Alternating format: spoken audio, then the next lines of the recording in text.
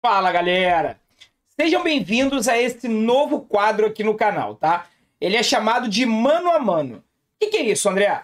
Toda véspera de jogo do Fluminense, eu vou trazer a provável escalação do adversário e vou comparar com a nossa provável escalação, posição por posição. Goleiro com goleiro, lateral com lateral, zagueiro com zagueiro e assim por diante, tá? Então fica ligadinho aqui nesse vídeo é o primeiro. Eu quero saber muito a tua opinião, se você gostou, se você quer dar alguma sugestão, quer fazer alguma crítica construtiva, vai ser muito bem-vindo, deixa aqui nos comentários, tá legal? Antes disso, só queria pedir para perder o costume, né, galera? Para você se inscrever aqui no canal, deixa o seu like, viu? Compartilhe esse vídeo para o máximo de pessoas que você puder. Quem quiser e puder se tornar membro do canal, galera, todos os dias eu estou lançando um card diferente, um card colecionável de todo o elenco do Fluminense então já foram três lançados. Se você é membro e ainda não pegou o seu, vai na aba comunidade aqui do próprio YouTube e baixa o seu lá que está disponível somente para os membros do canal. Tá legal, galera? Bom, vamos lá. Fluminense e São Paulo, né? Valendo pela primeira rodada do Campeonato Brasileiro, do retorno do Campeonato Brasileiro 2021. Primeiro turno, o Fluminense jogou muito bem, foi uma das poucas partidas que nós jogamos bem. O Nenê perdeu o pênalti e o jogo terminou 0 a 0 Deixando claro para você que isso aqui não é o pré-jogo, tá? É apenas o mano a mano, onde vou trazer as escalações, as prováveis escalações dos dois times e compará-las uma com a outra. E vamos ver quem leva vantagem, vamos ver se dá pra dizer, se dá pra gente dizer que o Fluminense é favorito, é um time melhor do que o São Paulo. Na tabela, a gente tem três pontos a mais do que o São Paulo. Nós temos 25 pontos, o São Paulo 22. Porém, o São Paulo tem um jogo a menos, ou seja, o São Paulo vencendo esse jogo a menos, eles podem nos igualar na pontuação. Então, são equipes muito parecidas, muito próximas, tá? O São Paulo, ele tem alguns desfalques importantes. O Arboleda tá fora. O São Paulo não tem lateral direito. Ele vai ter que improvisar. E eu já vou mostrar isso para vocês, tá? Arboleda tá fora. É, o Daniel Alves está afastado, não joga mais pelo São Paulo também. O Igor Vinícius, que joga também na lateral direita, tá suspenso. E o Marquinhos, o William e o Orejuela lesionados. Então São Paulo vem aí com uma série de desfalques e a provável escalação deles, galera, é essa que está aqui na tela e a gente vai começar o nosso mano a mano agora, tá? Marcos Felipe versus Volpe. Bom, são dois goleiros que pegam muito bem, né? Fazem, fazem defesas muito difíceis, mas de vez em quando dão uma escorregada na banana, dão mole, acaba cometendo falhas bizonhas, incríveis. Mas na comparação, na pontuação pelos aplicativos de scout e a média que eu tirei, galera, o Marcos Felipe leva vantagem, tá? O Marcos Felipe tem uma pontuação de 7.06, enquanto o Thiago Volpe tem uma pontuação de 6.96. Então, Flusão 1 a 0 em relação ao goleiro, tá legal? Lateral direita. Aqui, galera, vocês precisam entender o seguinte: o São Paulo, ele joga num sistema diferente do Fluminense. O São Paulo joga no 3-5-2. Então eles jogam com uma linha de três zagueiros, né? Dois alas que apoiam muito, são quase pontas, três homens no meio e dois lá no ataque.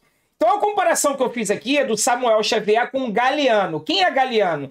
Galeano é um atacante que está sendo improvisado na, na, na, ala direita, já que tanto o Orejuela quanto o Daniel Alves e o Igor Vinícius, que são os três jogadores que atuam por ali, estão fora.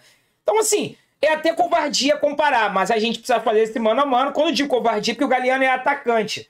Mas já jogou no Campeonato Paulista improvisado no setor, então a comparação tem que ser com ele, tá?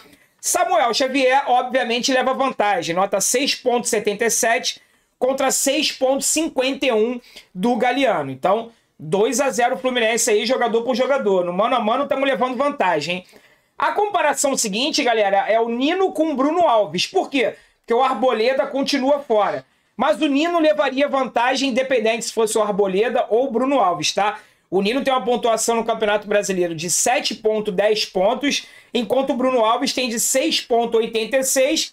E se fosse o Arboleda, teria de 6,87.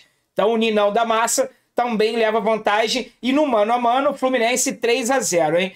A comparação agora, galera, é do Lucas Claro com o Miranda. Aí ficou complicado, né?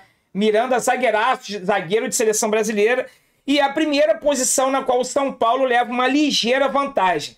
O Lucas Claro tem uma média de 6,92 pontos, enquanto o Miranda está com 7,03.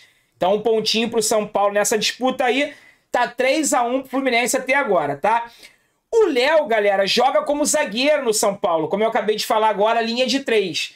Mas não tem jeito, o Léo também é lateral esquerdo, então a comparação dele tem que ser com Danilo Barcelos, tá? Então, Danilo Barcelos e Léo, para você, quem acha que vence antes de eu falar? Reloginho tocando, din, din, din, din, din, din. Pois é, a grama do vizinho é sempre mais verde do que a nossa, né? Mas nesse caso não é não, tá, galera? Danilo Barcelos leva vantagem em relação ao Léo. Danilo Barcelos com uma nota altíssima, a média né, dos últimos jogos que ele fez aí, de 7,18, tá? Enquanto o Léo tem uma pontuação de 6,91. Então, Danilo Barcelos levando vantagem, 4 a 1 Fluminense no nosso mano a mano, tá? A comparação seguinte é bem mais equilibrada, tá? O, fiz aqui o André com o Luan. Luan é um excelente jogador também no meio-campo do São Paulo. E o André leva vantagem. O André tem sido o melhor jogador do Fluminense nos últimos 3, 4, 5 jogos, né? Enquanto o John Arias não foi desfalque, os três jogos que o Arias jogou, o Arias também vinha se destacando, mas está chegando de viagem hoje, hoje, sábado, não treinou a semana inteira e não vai começar a partida.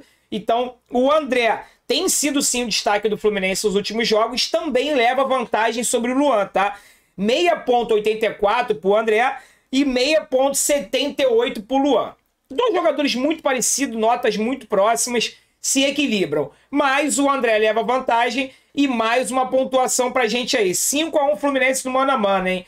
Iago Felipe e Benítez, galera. Por que eu botei o Iago Felipe e o Benítez? Porque nesse meio campo do Fluminense, nós não temos um homem de criação. Nós não temos um camisa 10, né? E desses três volantes, o que mais se aproxima do ataque, finaliza de fora da área, leva perigo ao gol adversário, é o Iago. Então, nada mais justo, na minha opinião, de botar o Iago com o Benítez. E aí, fiquei surpreso, viu? O Iago também leva vantagem. O Iago tem uma média de pontuação no Campeonato Brasileiro de 6,88, enquanto o Benítez 6,69. O Benítez ele tem sempre o problema de sair muito ao longo do jogo, ou porque se lesiona, ou porque está voltando de lesão e não consegue jogar uma partida inteira, acaba não rendendo, a performance dele cai e acaba não tendo uma boa média no Campeonato Brasileiro. Fiquei surpreso, mas o Iago Felipe leva vantagem sobre o Benítez. Então 6 a 1 Fluminense. Olha isso, hein, galera? Mano a mano, jogador por posição, jogador por jogador, posição por posição. Essas notas são a média da pontuação de três aplicativos de scout. Então, se não é fidedigno ao que acontece no campo, dá para a gente ter uma boa noção, né? A comparação seguinte é Martinelli e Lisiero. Lisiero também é um excelente jogador, se equivalem demais. São dois excelentes atletas, gostaria de ter os dois no Fluminense, mas o Martinelli leva uma ligeira vantagem, tá? O Martinelli tem uma pontuação de 6,88 contra 6,81 do Lisieiro. Volto a dizer, assim como o André e o Luan são notas muito próximas, o do Martinelli com o Lisieiro também. Mas, mas, nessa comparação, o Martinelli leva vantagem e o Fluminense abriu de lavada, tá? Estamos bem na frente. Agora, galera, Caio Paulista, que com a ausência do John Arias, deve começar jogando.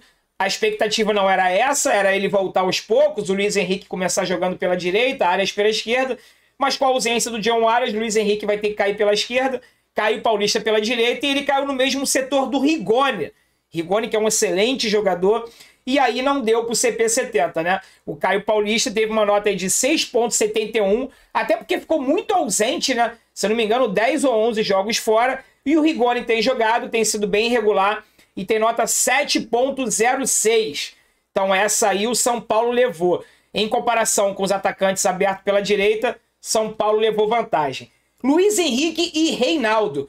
Pô, André, Reinaldo? Sim, o Reinaldo joga de ala, joga quase como um ponta e joga pelo mesmo setor aonde joga o Luiz Henrique, né? Então, um comparativo nada mais justo. E aí também não deu pra gente, né? O Luiz Henrique teve uma média aí de 6,67, tá? E o Reinaldo 7,14. Então, mais uma vantagem aí pro São Paulo. O São Paulo acabou levando vantagem não vou me antecipar, não. Vamos comparar aqui Fred e Luciano. Fred, André, sim, também não concordo, tá? O Fred, nosso grande ídolo, é... tá marcado na história do Fluminense. Eu acho que ainda pode nos ajudar muito, mas, na minha opinião, deveria começar no banco de reservas. Mas pela provável escalação que saiu, tá? O Fred deverá começar a partida de início. Não é a escalação oficial, é a provável escalação. Pode ser que até amanhã mude, que entre o Bobadilha, enfim. Mas a provável escalação que, que eu consegui apurar e que saiu na imprensa também, o Fred começaria jogando. E aí existe uma dúvida no, no São Paulo entre o Luciano ou o Pablo. Não muda nada pra gente. O Fred leva vantagem. O Fred tem uma nota de 6,83, tá? Contra 6,64 do Luciano e 6,60 do Pablo. Ou seja, o Fred levaria vantagem, independente se fosse Luciano ou Pablo, independente de quem fosse, não, de quem será, né? Porque ainda não saiu a escalação oficial e o Crespo só vai liberá-la amanhã. E para finalizar essa comparação, galera, Marcão versus Crespo. Os dois treinadores, jovens treinadores, né, começaram a carreira há pouco tempo, só que nessa aí não tem jeito, mesmo sendo jovens, o Crespo tem um pouco mais de experiência, já tem um título conquistado no currículo dele, e nessa aí, entre Crespo e Marcão, vantagem para o Crespo, na minha opinião, mas eu quero que você deixe a sua aqui nos comentários. Ou seja, nesse comparativo aí, galera, deu 8 a 4 pro Fluminense, tá? Tinha dado, na verdade, 8 a 3 com os jogadores de linha, né? No time mesmo, os 11 atletas que vão disputar, o Fluminense levou vantagem em 8 das 11 posições. O São Paulo só venceu com Miranda e os dois pontas. O restante, os prováveis jogadores que entrarão em campo, o Fluminense levantou, levou vantagem em todos eles. E em relação aos treinadores, o Crespo levou vantagem sobre o Marcão. Então, finalizando essas 12 comparações do nosso mano a mano aí, 8 a 4 para o nosso Fluminense. Tá legal, galera? E aí, gostaram do formato? Gostaram desse vídeo? Querem que eu continue fazendo ou não? Não vale a pena, deixa só no pré-jogo. Quero saber a opinião de vocês. Amanhã, no dia da partida, vai sair o vídeo, o vídeo pré-jogo com todas as atualizações, aonde vai passar, o horário, desfalques de forma macro e tudo mais tá? Esse vídeo aqui é somente mano a mano, é um novo formato e eu quero ouvir a opinião de vocês. Beleza, galera? Fiquem com Deus, um forte abraço e saudações tricolores.